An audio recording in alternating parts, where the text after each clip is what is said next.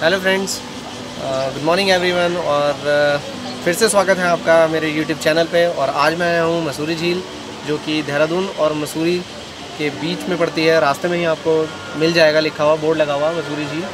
तो मसूरी झील का नज़ारा कुछ इस तरीके का है और यहाँ पर भी और ये चारों तरफ़ से पहाड़ों से गिरा हुआ है जो बहुत ही सुंदर दिखता है बहुत ही सुंदर व्यू है। बट यहाँ पर भी कुछ ज़्यादा एक्टिविटीज़ है नहीं करने के लिए। ज़्यादा एक्टिविटीज़ यहाँ पर कुछ करने के लिए ख़ास नहीं लगी वही सब है एक हॉन्टेड हाउस है जो सब जगह कॉमन मिला था। और सेवेंटी सिनेमा है यहाँ पर। और और आप यहाँ पर फ्रेंड्स एक उत्तराखंड की गढ़वा गढ़वाली जो ड्रेस है ट्रेडिशनल ड्रेस उसमें आप अपने फ़ोटोज़ क्लिक करा सकते हैं वोटिंग कर सकते हैं। और जैसा कि आगे और गाइज़ ये मसूरी झील के आगे ही ये एडवेंचर्स एक्टिविटीज़ करने के लिए, जैसे वुडन प्लैंक हो गया है आगे टायर हो गया रोप वे हो गया, ये सभी अभी अंडर कंस्ट्रक्शन है। जो बन रहा है, मुझे लगता है चार पाँच महीने में ये काम भी पूरा हो जाएगा तो यहाँ पे भी आप एडवेंचर्स एक्टिविटीज़ कर सकते हैं। बाकी ज़्यादा यहाँ पर खास कुछ है नहीं, अभी सब कुछ अंडर कंस्ट्रक्शन है। और, बस यही सब था जो मैं आपको कवर करना चाहता था इस वीडियो के थ्रू तो बस इतना ही है और अब वापस चलते हैं। सो फाइनल गाइज़ अब मैं आ गया हूँ देहरादून के ज़ू में, जो देहरादून मसूरी रोड पर ही है, और आप इसका मेन गेट एंट्री गेट आप सामने देख सकते हैं। और इसमें एक मामूली सा एंट्री टिकट लेकर आप अंदर एंट्री कर सकते हैं। ज़ू के अंदर ट्राईपॉड और खाने पीने का सामान ले जाना मना है। ज़ू के बाहर, काफ़ी काफ़ी अच्छा कैफेटेरिया है, जहाँ पर आप स्नैक्स लंच और ब्रेकफास्ट का मज़ा ले सकते हैं। और मैंने सुना है कि ज़ू के अंदर एक फ़न पार्क भी है बच्चों के खेलने के लिए, और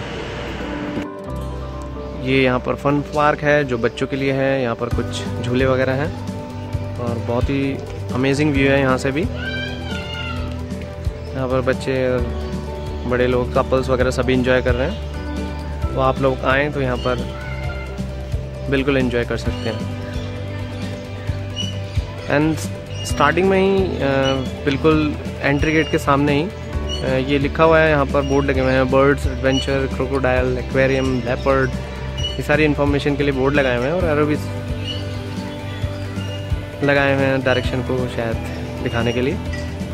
और ज़ू जो है वो बहुत ही अमेजिंग लग रहा है मुझे। अभी मैं पूरा अंदर नहीं गया हूँ इसके। अभी मैं पूरा कैप्चर करने की कोशिश करूँगा। तो गाइस जू में स्टार्टिंग होती है बर्ड्स की स्पीशीज़ से। और बर्ड की स्पीशीज़ यहाँ पर बहुत ही अच्छी हैं जू में।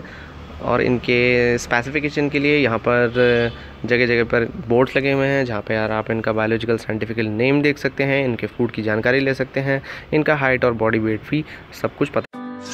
और अभी ये सारे बर्ड्स की स्पीशीज़ चल रही हैं। यहाँ पर यहाँ पर ये बोर्ड लगे हुए हैं जिन पे इनका नाम और इनके बारे में काफ़ी इन्फॉर्मेशन दी हुई है। इनके ऑर्डर फैमिली जीन्स स्पीशीज़ सब कुछ दिया हुआ है। क्लासिफिकेशन ये क्या खाते हैं फ़ूड वगैरह लेंथ इनकी वेट ये सभी कुछ दिया हुआ है। और आप इनके वाह ये तो बहुत ही सुंदर है। ये बहुत ही ज़्यादा सुंदर है।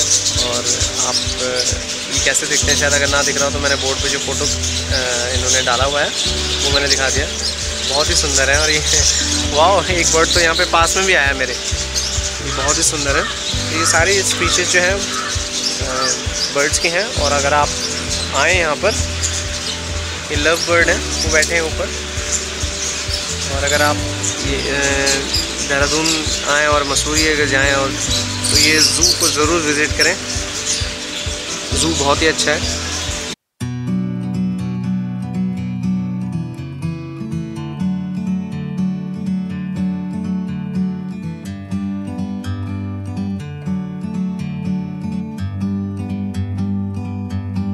Bird on a tree. I'm just sitting here. I got time, it's clear to see. From up here, the world seems small. We can sit together. It's so beautiful, you and me. We meant to be in the great outdoors, forever free.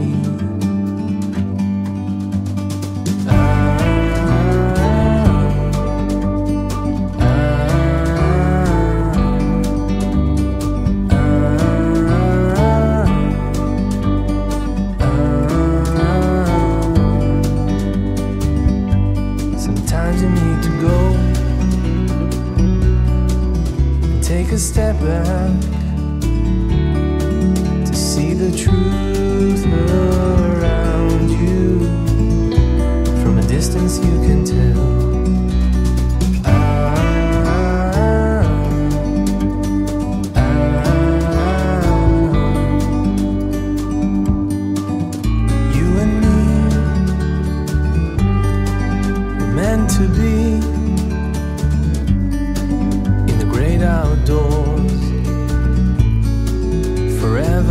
free.